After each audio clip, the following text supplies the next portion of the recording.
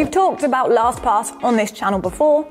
Hell, if you are here, chances are you're already using this password manager yourself. No doubt it is a good service with many awesome features and a great free version.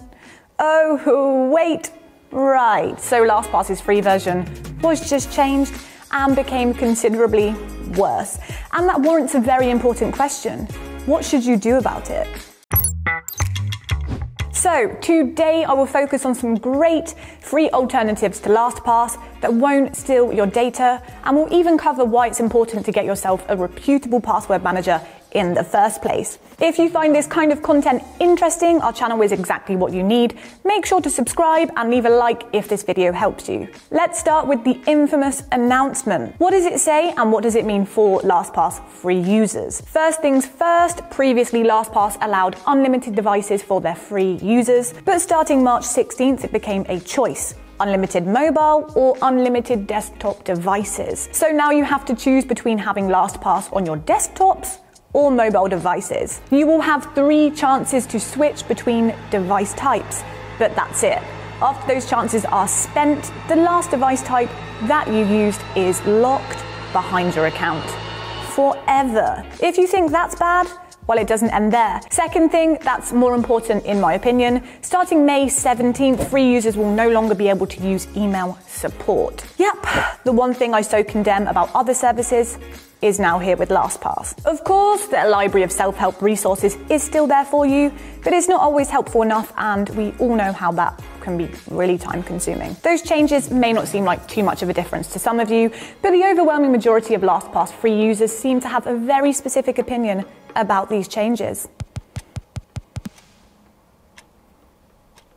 The point is, those changes will draw a very distinct line between paying customers and free users. Now, what are the options for those users? Well, the obvious one is to switch to premium package. Or if you're looking to switch it up and grab another one, I totally get it. Thankfully, there are plenty of decent LastPass alternatives, so please do not skip a password manager altogether. But before we get into those, I know that some of you guys like to read instead of listen. For you, I have a comprehensive article prepared. Click that link now or find it down in the description when you're done.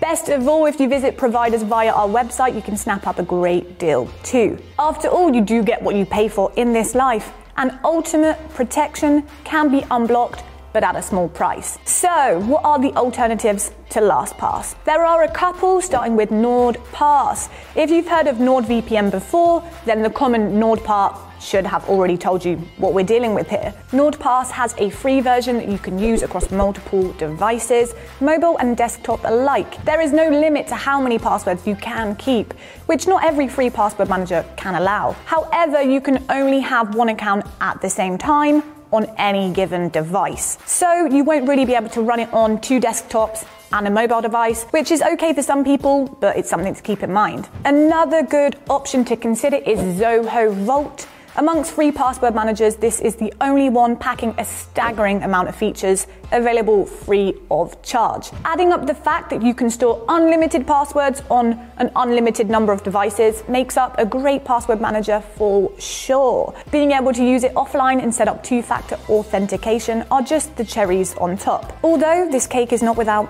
a drop of salt, as Zoho Vault only has mobile apps. If you would like to use it on desktop, you'll have to go to the browser extension, which I understand it's not optimal for many people, including myself. Just keep that in mind. And the third option is KeePass. This one is a little different as it is focused on the tech savvy users. Being an open source project, KeePass is highly customizable. You can build its functionality from many options, which is extremely difficult for casual users. Despite that, KeePass does offer many great security features, including a password generator, encryption, and two factor authentication the hardest part is to kind of set it all up. Now, I do want to just let you know that if you're put off from changing password managers simply because the thought of the whole migration process gives you a bit of a headache, no worries, you can find simple instructions on our website. Find the link down in the description. I just want to say that it really doesn't matter how long you spend online. Heck, even the casual internet user will have at least three sets of passwords to remember and store somewhere safe.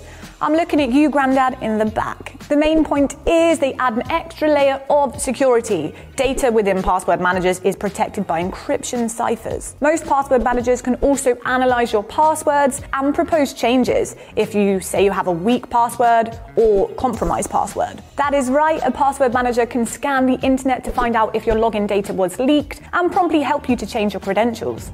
Not enough? Well, how do you like an extra layer of security in the form of two factor authentication? Some password managers will even allow you to have a multi layer protection that will make your password vault completely bulletproof. In this age where cybercrime is more prevalent than ever, all those security measures are less overprotection and kind of more of a necessity. Besides, you don't even have to invest in all this crazy protection, since a good quality free password manager kind of gives you the basics, baseline of protection kind of a bare minimum, if you will. Having said all that, many do look to premium plans for a more advanced level of protection and features. You just have to ask yourself is it worth saving money on your password security? I'll leave that answer to you. So, if you are on the fence about investing, don't forget you can find out way more information on our website. If this video helps you in any way, please leave it a like. Our comment section also feels kind of lonely this time of day, so if you have something to say, go wild, just go for it.